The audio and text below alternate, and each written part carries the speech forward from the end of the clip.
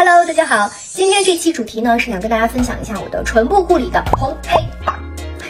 先来红榜吧，给大家看一个这个，这个是用了 N 支的那个唇油，然后以前都是蓝色的包装，这支呢是一个什么什么季节的限定版，我忘记了，就是总之又好用，又没有负担，然后是让你的唇纹第二天感觉像淡了一样消失一样的，这个是无限回购。然后嘞就是这个蓝面的唇油，这个也是我快用完了。嗯，它有股清清凉凉的薄荷的味道，然后擦在嘴上之后既滋润又清凉，我觉得很适合夏天用，而且不糊嘴。然后洁一支嘞是欧舒丹的一个樱花的护唇膏，这个说是唇膏，但其实它是有一点唇油的那种质地，非常的好闻，然后也很滋润，也是不糊嘴的那一种，而且我觉得味道很一切。这个呢是 Fresh 的一个呃唇部的叫唇蜜，这个是柠檬焦糖味的，已经被我用完了，用空了。超级超级好闻，超级超级的润。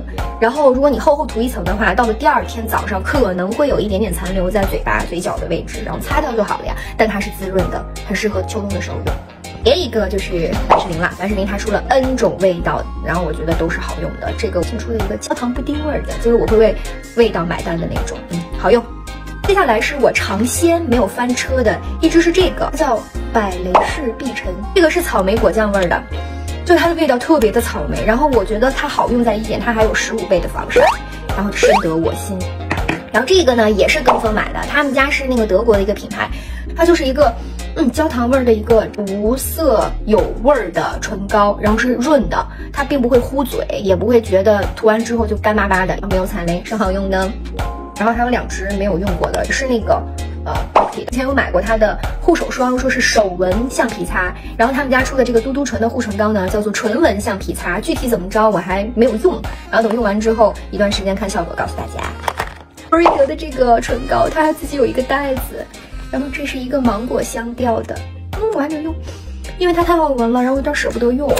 还有一个是无限回购了 N 支的迪奥的这个零零一和零零四，他们家出了这个套装，我买了好几盒，就每次去机场的时候都是要囤一些。零零一我觉得应该用了几百支了吧，我好像。零零四是我觉得有时候上妆的时候你可以用零零四，等它干掉之后的那个颜色是非常非常好看的，是有点橘调的那种。零零一呢就是非常的自然了，无限回购。